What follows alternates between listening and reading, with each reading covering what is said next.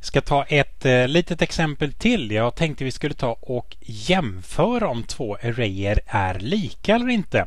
Det vi ska göra är att vi ska skapa oss två stycken arrayer och därefter så ska vi med hjälp av en for-loop gå igenom dessa två arrayerna och jämföra om de innehåller samma värden eller inte. För att lösa den här pucken tar vi och skapar oss en eh, HTML-fil som vi kallar för 7arraycall.html och sen så börjar vi skriva i den. Jag skapar mig en array som jag kallar för 1 och säger att den är en new array.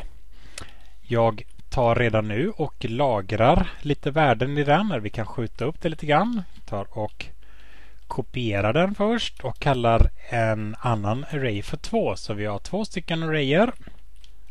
Vi gör så. Skapar en array och lagrar lite siffror i den här arrayen. Så där till exempel.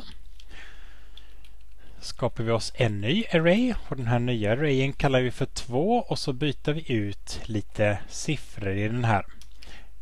Kan vi sätta en tvåa där, en åtta där och så kan vi väl byta dem på slutet också. Sådär, nu har vi två stycken arrayer. De eh, innehåller lite olika värden. Nu ska vi göra en loop som ska kolla de här två arrayerna. Eftersom jag vet hur stora arrayerna är så använder jag en for-loop för detta.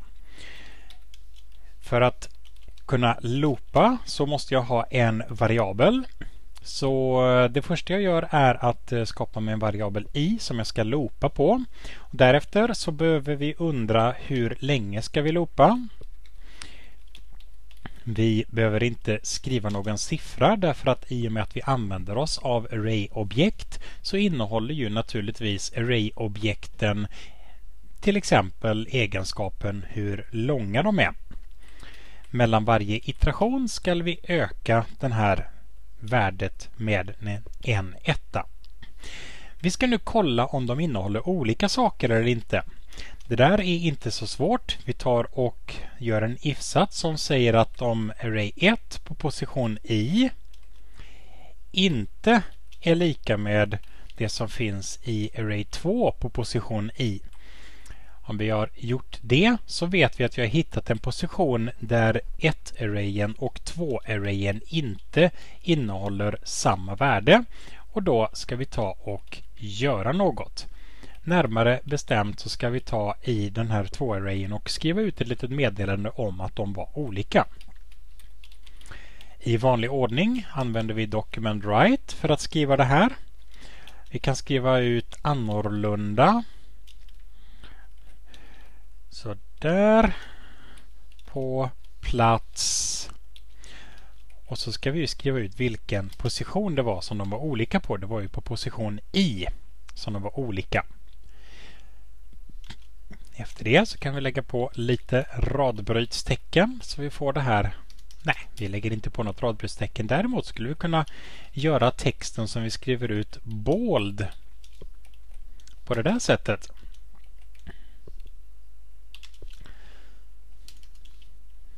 Så. Eh, vi kan ju dessutom berätta vad det var för värden som vi hittade var olika och vi kan ju skriva ut det också. Då blir det lite mer träning på arrayer. Jag vill skriva ut eh, att den ena platsen innehåller något och den andra inte gör det. Vi skriver ut eh, inom parentes skriver vi ut det hela.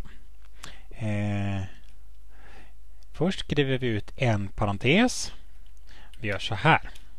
Jag vill skriva ut 1 på position i är olika än 2 på position i så brukar jag ofta vilja ha det utskrivet så vi ser först och så vill jag ha parenteserna utskrivna. Så man kan, ett lättare sätt att göra den här strängkonkateneringen är att du skriver helt enkelt vad du är du vill ha utskrivet. Och efter det är färdigt då kan du lägga på strängkonkateneringen. Men det är den här utskriften jag vill ha.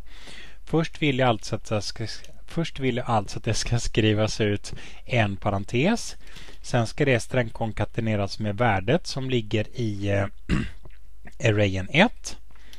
Därefter ska det strängkonkateneras ihop med är olika n.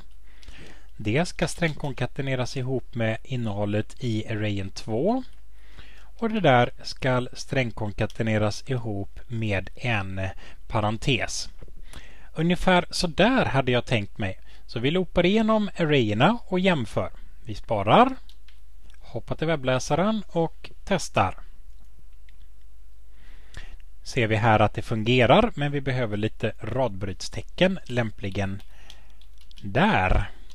Sparar och testar igen. Annorlunda på plats nummer 1. 4 är olika än 2. Annorlunda på plats nummer 2. 2 är olika än 9 och så femman också. Plats 1, 2 och 5 sa programmet att det var olika. Och om vi tittar på arrayerna så ser vi att eh, arrayplats nummer 1, det vill säga 4 och 2 är olika. Vi kommer ihåg att när det gäller arrayer börjar vi alltid räkna på plats nummer 0. Så den där sexan ligger på position 0 och 4 ligger på position nummer 1. Så plats nummer 0, 1, 2 och fem var olika.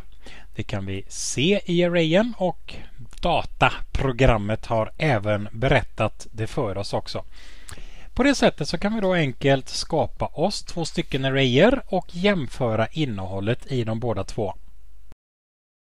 Om vi skojar till det här lite grann så kan vi ta och eh, lägga in lite andra värden i array 1. Som vi ser så kommer vi ju att göra jämförelsen i for-loopen baserad på hur lång, hur lång array 1 är.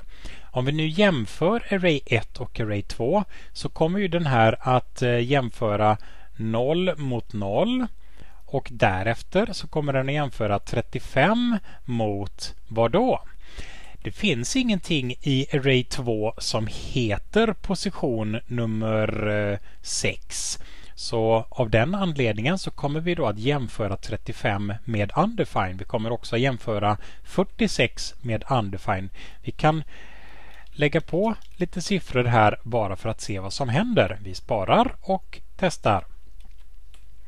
Vi ser här att eh, på de arrayplatserna som finns så att säga som bonus i array 1 så kommer vi att jämföra de platserna med undefined för eh, det finns inga värden lagrade i array 2 på den här platsen det vill säga värdena är undefined. Så där kan vi göra för att skapa oss ett par arrayer och att med hjälp av en for loop iterera igenom dessa två arrayer och jämföra om platserna innehåller lika eller olika värden.